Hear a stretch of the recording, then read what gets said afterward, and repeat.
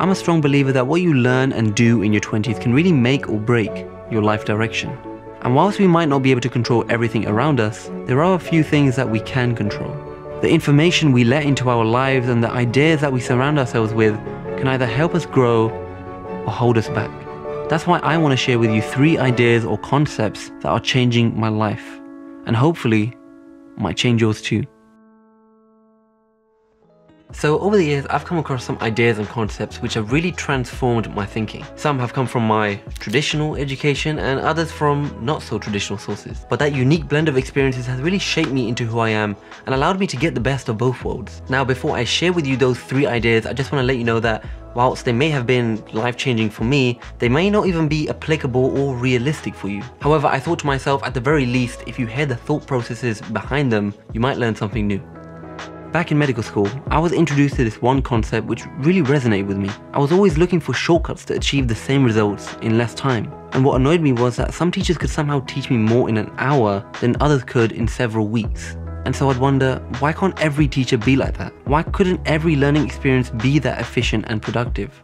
So the first concept that I really think about all the time is something called yield. Now yield can be best explained if we take it back to our chemistry classes back in school. Or if you watched Breaking Bad, think Walter White or Heisenberg and what he was up to. Let's say you create a chemical reaction between two things and you get two products at the end of it product A and product B. Now product A is something that you actually want, okay? You wanna maximize this. And product B is the waste product, something you're trying to minimize. Now a high yield reaction is basically one which allows you to get almost entirely product A and almost no product B. In the show Breaking Bad, Heisenberg was basically famous for having the purest form of drugs. He basically knew how to make a high yield reaction which allowed him to have the purest form of crystal meth or whatever he had. I mean, you know, I wouldn't know this stuff. So let's convert that into real life, okay? Unless obviously some of you are living that type of life.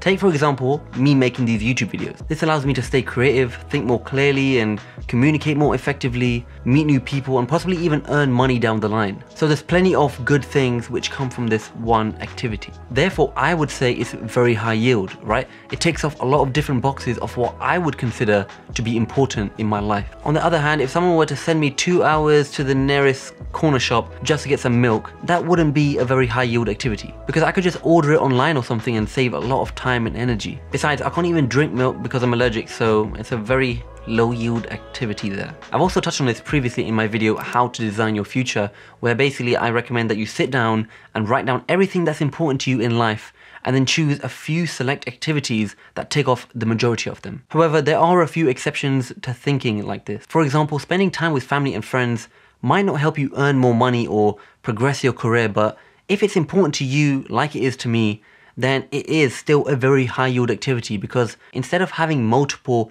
different little boxes to tick off, spending time with friends and family is something like a very big box, okay? Doing so takes it off, which means it's very high yield.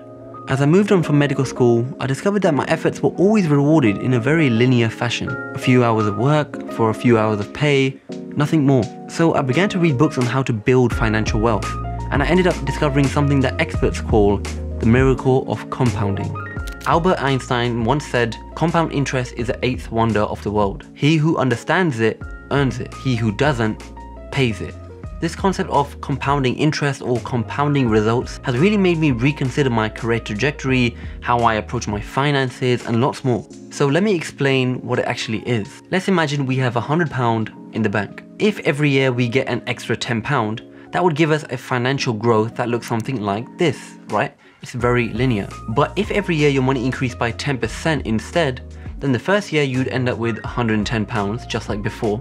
But the next year, that 10% increase would also apply to all the interest that you've accumulated in the years before. Essentially, you're gaining interest on interest. This effect is sometimes called the miracle of compounding because although we might understand the concept, our minds really underestimate how powerful it actually is. And just to prove that to you, Here's an example. If you invested £500 every month into the stock market for 30 years, and at the end of each of those years, you had a 5% return, let's say, how much would you say roughly the total would be at the end of those 30 years? The answer is just over £400,000. But here's the crazy thing. The majority of that money has actually come from all the compound interest rather than all the £500 contributions combined. Your £500 contributions work in a linear fashion just like we mentioned earlier, but the compound interest works exponentially. Now what's cool is that the effect of compounding works more than just with money. When you create things online, views, followers, engagement can all compound. And some people are lucky enough to see an exponential increase in the money they earn as a result of that. The same thing works with having your own business and much, much more. And so this realization came to me that my life was largely following a linear pattern.